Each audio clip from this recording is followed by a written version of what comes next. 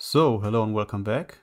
And this time I brought you a little presentation about the bot I was, the Discord bot I was working on, or I'm still working on. And for this I created a small server and you can find the Discord bot on dropsoft.org and there you can navigate to products. And as you can see, you can uh, see Droplet here. This is the bot. And then we um, go to this side. And as you can see, we can see all the features that the bot has.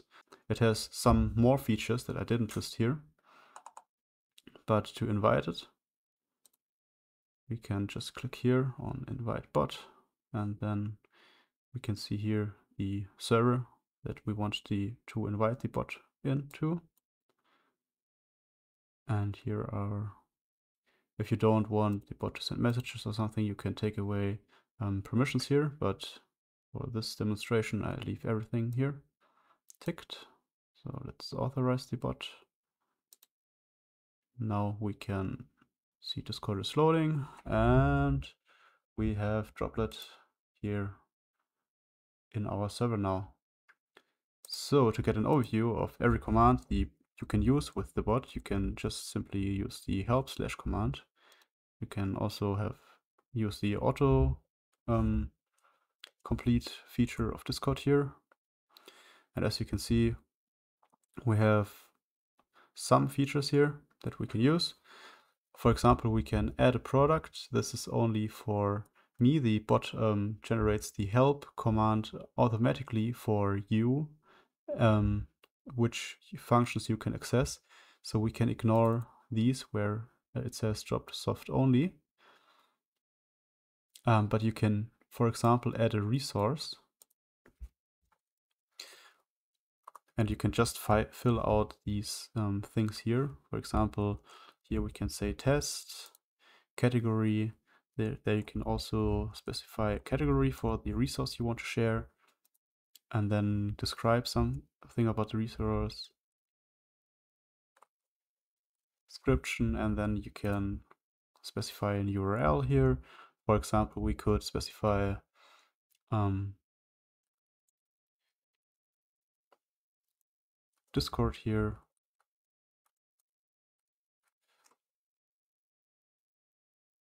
Yeah, difficulty, is it for beginners or um, what's the audience for this resource? And then you can specify tags also, which should be comma separated.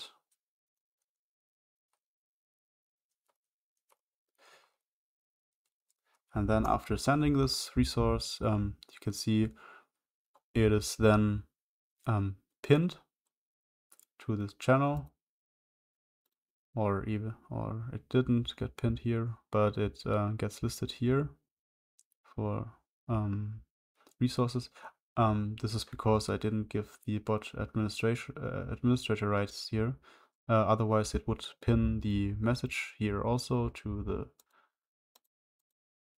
to the pinned messages. But we can see here we get a link to um, see the resources. And here are other resources that all were already shared by the bot. And if we scroll down, we can also see our resource that we just added. Then we can navigate back, close this tab again, and let's see what other commands we have. Um, here um, we can blacklist the username. This is also an administrative uh, administrative thing that I added. Um, this is for the portal command. So we could add a portal And as you can see, server settings, roles, create a new role, or just make droplet like an admin or something. Permissions.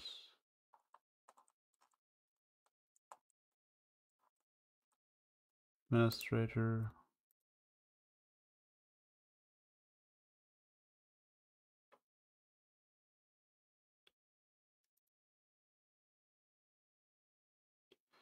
that could be if I need to add an administrator role to myself.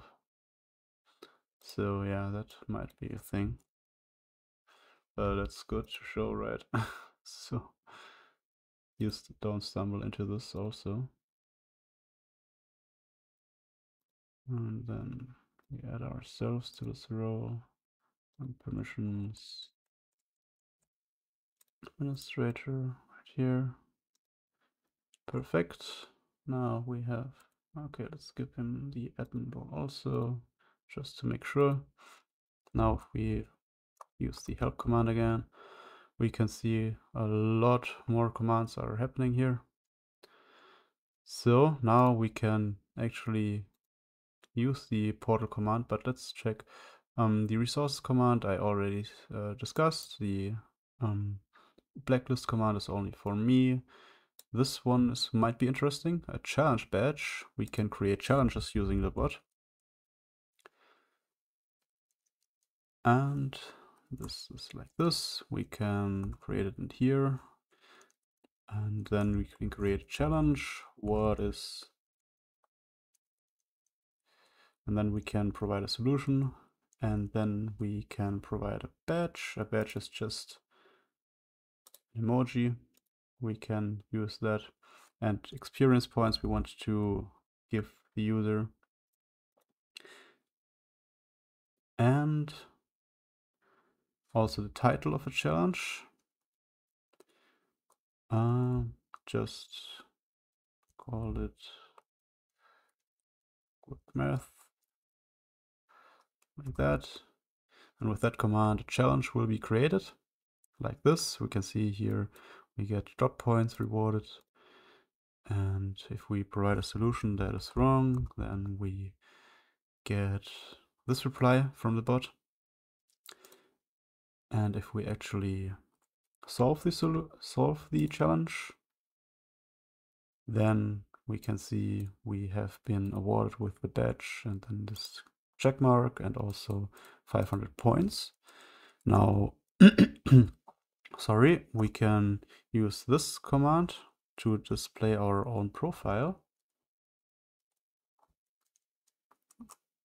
We can just add ourselves and this will display our profile and then we can see the servers that we are on. Here we can see around hook spot demo and then here team, we have some badges here and then yeah, this. And then um, here you can see the um, level and the points that I have. And the points actually can be seen here also on the leader leaderboard. And then you can see um, people with a lot of experience points. And somewhere here is me.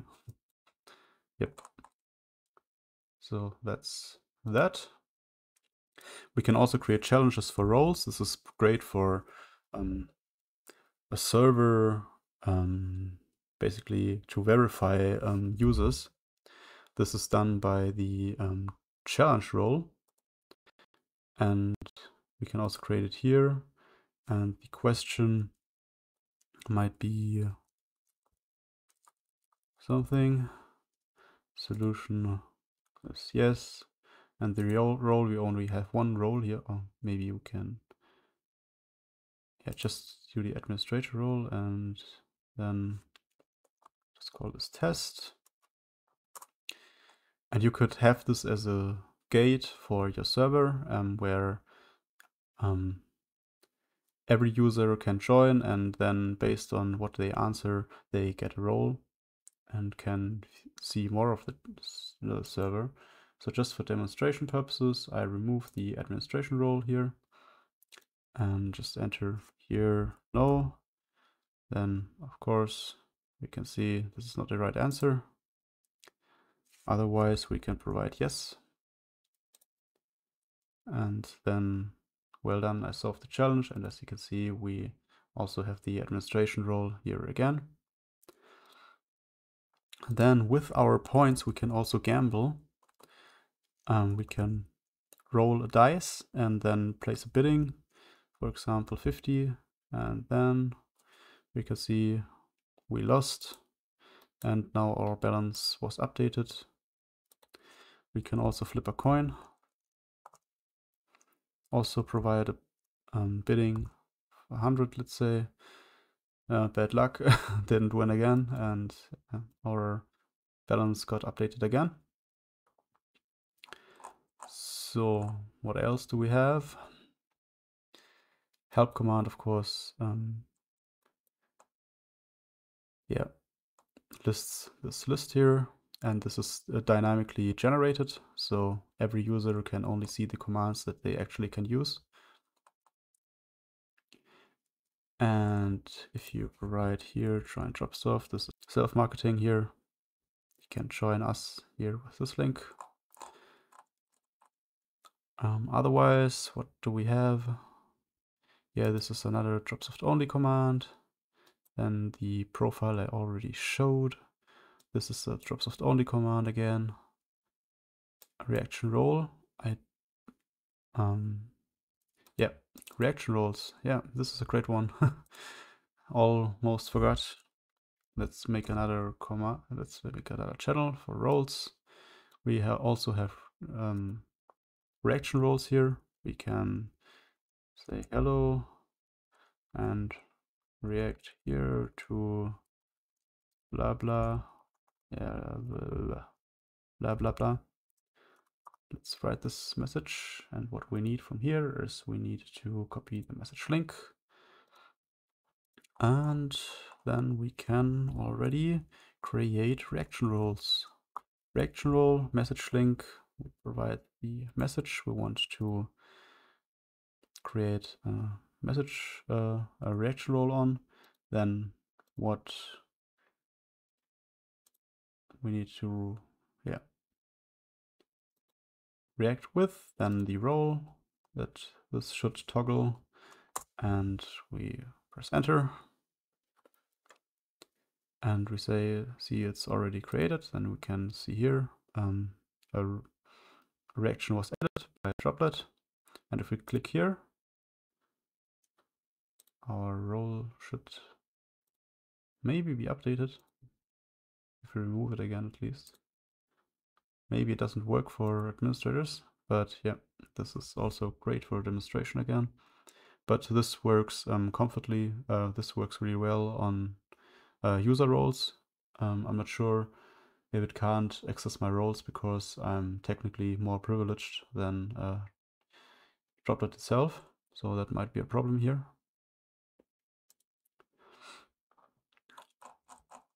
So we can also, yeah, if we have our portal here, let's set our portal here again. Then the portal is enabled and we can write a message here and then we can switch to another server with a portal enabled.